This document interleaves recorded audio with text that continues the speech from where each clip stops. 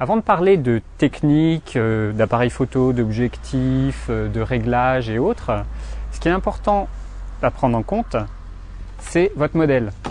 On laisse ça de côté. Aujourd'hui, donc, comme je vous ai dit, on a Hélène avec nous. Et Hélène, elle n'est pas très à l'aise.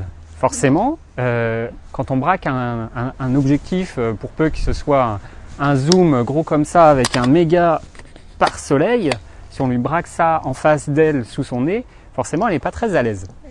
Alors c'est important de, communiquer, d'être euh, aussi un petit peu directif, c'est-à-dire que votre modèle il est comme ça, il ne sait pas comment, com- comment gérer sa position, il ne sait pas ce qui est correct et ce qui est bien, est-ce qu'il doit sourire, est-ce qu'il doit se tourner, se mettre de profil? Et donc c'est à vous d'apprendre petit à petit à guider votre modèle.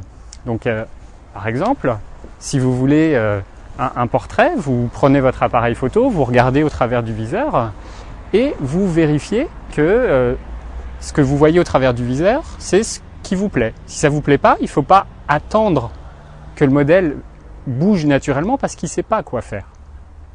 Donc par exemple, on va faire un, un petit essai. Hélène, tu vas me regarder. Voilà. Est-ce que tu peux tourner un petit peu la tête vers la droite? Voilà, doucement. Reviens un petit peu. Voilà, on va faire une photo. Voilà. Est-ce que tu peux avancer d'un pas, s'il te plaît, doucement? Voilà. Alors, souris moins. Est-ce que tu peux fermer la bouche? Voilà. Ok. Visiblement, ah non. Et l'important, c'est de mettre votre modèle à l'aise comme ça, en lui donnant quelques, quelques conseils, quelques directives, et puis euh, de faire passer le courant.